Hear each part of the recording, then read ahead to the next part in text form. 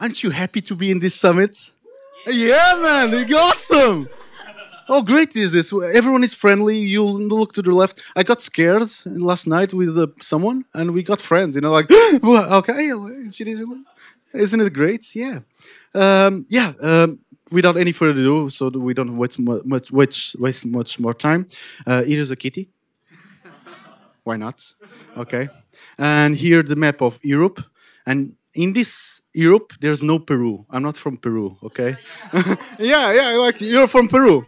And you were there, who's this shit? You know, like, yeah. And you see Peru here? No. That's Portugal. That's where I'm from, you know? Like, and in Portugal, there's a city called Lisbon, Lisboa. So that's where I'm from, okay?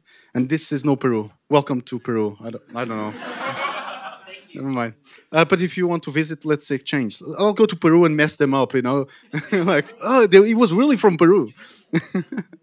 Next. So, we are here to talk about member retention. Please don't don't go outside and say, hey, I want to talk about retention. You know, like, don't talk about, say member retention. So, member retention. Uh, let's talk a bit before that. Is it's really important to know the people, correct? If you want to keep them interested in your topic, in your uh, community, you need to know them. Okay. Uh, in here, I I look at you, and of course, I know everyone because we have the same values. We want to share a community, and I can focus on my topic, on my meetup, on your interests. Okay. And if I keep you engaged, you will keep coming okay so that's so important to know your people and before knowing your community itself you need to know yourself. You need to know your team, correct? You need to know that you're capable of saying, uh, "Hey, um, this week I cannot work.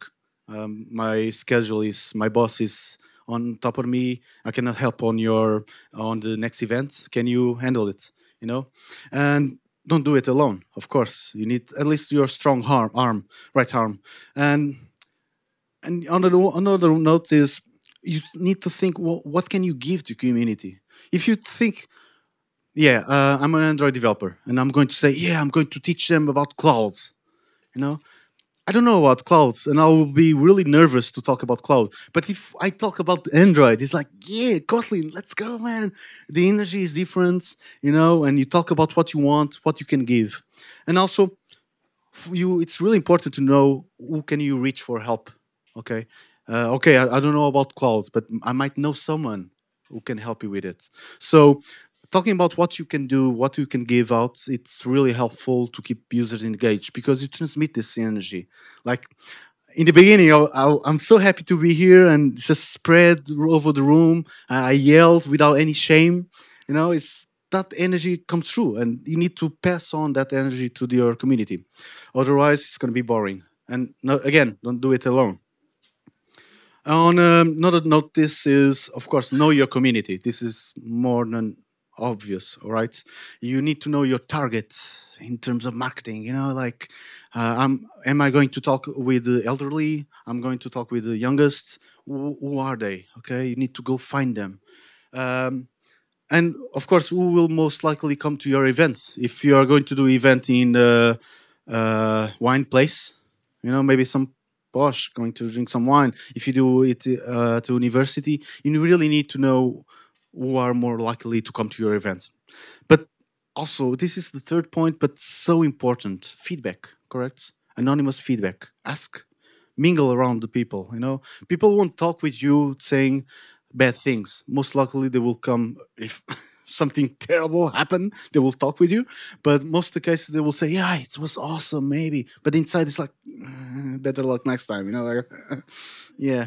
But anonymous feedback uh, ask your uh, regulars. That's something really helps. Ask your regulars to ask their friends and all. Hey, uh, what did they think about it? You know, and it's so important. And yeah, one big difference is here is are your community students, professionals? Because it's so different in sense of parties and tired. Because if you are talking talking about professionals, uh, and you are doing an, an event at 8 p.m probably are tired of eight hours of working with your boss, his boss on top of him. Like, do this, send that email. no one wants to be bothered at 8 p.m. by recruiters or do this or that. You need it to be lighter. When with students, it's like all good every time. You just bring beer and yeah, let's go. But uh, it's good because students earlier and you can mess around. It's so fun to do events at universities, right? It's more lightweight. You people come or not, but still, it's really interesting to see this duality of things. But yeah, I'm talking broader terms. This is really an informal talk. Okay, um, we'll have a moment for Q and A, but I just want to give you an overview of our important topics on user retention to keep them interested on your meetups and keep coming. Okay, and so showtime, really. As soon as you stand in front of the audience, it's showtime. Okay, um, we are a different community. We are not formal Okay, we can say bad words, maybe not here. They told me not to. Uh, if I say something, so say duck, duck, duck. Okay, but um, it's really important to pay attention. Like you're on stage, people are, are coming here to watch you. You came here to watch me, so you, I need to keep an eye on you I know you guys are interested. There's this one guy on the phone, and everyone is looking at me. So you're doing a good job. I'm telling that myself. And uh, the tone of voice is important. You know, the language, the position. You know, I, I cannot talk like this because you will get tired of me. You won't look at me. You know, and if your people are starting to fall asleep, maybe check the room temperature. It can be everything. And again, don't do it alone because if you are on stage, you need a helping hand uh, on, on among the people. Correct? Say, hey, enough. Oh, duck, duck, duck. No, not that. So, and an interesting topic I understood is people don't care about the middle. Okay, they forget. There's something important happening, like a big announcement, and then something other big thing, and they'll forget in the middle they focus on that thing. So one thing I um, this is again i'm in front of you because i went to other conference i talked with uh, many of you i listen and i this is my conclusion out out of it you know like and so it's normal to have a keynote and then food it's normal then to have kitties in the beginning and maybe in the end maybe who knows and also start with a joke how many times you heard of it you know start with a joke make people interesting you know like or make, um, uh, for example, let's do an exercise. People, raise your hands now to the air. Come on. Yeah. Uh, so good, so good, so good. Now lower one of your hands. Okay, one hand, and you say, "People, this is how you ask questions." you know, a joke. You you can save these little details to use uh, meantime. You know, it's just people raise your hands, and that's how you ask joke. Or oh, you're so tight, you know, just release your shoulders, release the jaw, you know? and people are less tense to do things. And if you keep them interesting like this, people will come uh, more often to your talks. I will focus on one example. Uh, I think it's the most common that we do and organize tech talks, right? You invite a speaker, and the speaker talks about 20 minutes, one hour, two hours, can you guess? Talk for two hours. First time speaker, two hours. Imagine that. Oh, or 20 minutes talk and 40 minutes uh, of Q&A. 40 minutes Q&A, you know? And there's a really a big balance to do. And uh, this is a Portuguese saying, you não podes agradar a gregos e troianos. it's funny to hear, you know. I know, but this is like you cannot please Greeks and Trojans, you know. Any Greek here? Any Trojan? yeah, yeah. uh, but so why not both? You know, like why do why I am saying this is if you have a tech talk, why not? I've we have reached the conclusion there are three kind of people asking questions. Those who interrupt the speaker that are courage enough, like yeah, I'm going to speak. Uh, yeah, and um, people who ask on the QA time, okay? And then also those who approach the speaker afterwards is so common. So you can mess around with that. So you tell the speaker 30 minutes of uh, talk, and then we have 10 minutes of um, Q&A, but most importantly stay after the talk. Stay with us you know like 30 minutes enough. And people will get interested. And again you're on stage stage is yours. It's so important that stage is yours you're in control. And so it's really important in your posture like positivity. You're here you're in control so if someone starts talking about one-on-one question there's no problem saying stop. That's a personal question or one-on-one please talk afterwards. Because you are knowing one person that's correct. You're knowing this guy I, he was on the phone that's why i'm pointing at you. Uh, but uh, but then again he's annoying annoyed but you have 40 other people's like yeah inside yeah, yeah enough you know? And so important to uh, keep on track. If you say it's 40 minutes event it has to be 40 minutes. It's because people have things to do even more more importantly professionals for correct? Uh, they just got out of job maybe they have kids waiting. So if you have a 40 minutes event do it 40 minutes. If you do it like two hours people won't live here. It's peer pressure you know? If you, know, i don't know your name if you want to stand up you will feel pressure to move you're stuck and people you don't want that so that's why it's really hard to pleasure everyone uh, in terms of greek and trojans but you can do a certain mingle of it uh, some small details, topics, but I'm going to move forward. One really, and the most important question here is in your mind, when you're doing uh, an event, you have a lot of topics to do. You make a lot of pressure under you, right? Like, I need to do this, this, this, like 10 topics, you know? And it's important to keep them inside your head only and among your team. Why? Imagine someone just told you, hey, we have ponies. You know, an amazing pony. Come see the pony. It's such a pleasure to, to see the pony and pet the pony, you know? And then on the same day, you're on stage and say, um, I have uh, bad news. The pony is dead. Uh, yeah, he was walking, and then the truck came and just all over. Don't step outside. Be careful. So don't mention your dead ponies. What I mean, okay? Seriously, don't mention. It's awkward for everyone. If the, oh, it, you will forget something, you will put yourself under pressure to do the perfect event, to remember the speaker name, but you will forget the speaker name. You know, you will forget say there's some awesome food outside. No problem. Okay ask for help for your colleagues. Don't do this alone. You know, ask for help. Uh, do mnemonics. But if something goes wrong, it's not. People told me, ah, it's a lie. You're omitting something, but it's not true. It's just don't put the baggage of the responsibility on the community. It's your package. and it's fun also then to while you mingle, uh, you're talking with the community and say, hey, we had a pony, but it died. It's like horrible, you know. Then washing the no, it's you can tell those uh, things afterwards, but during the event, no.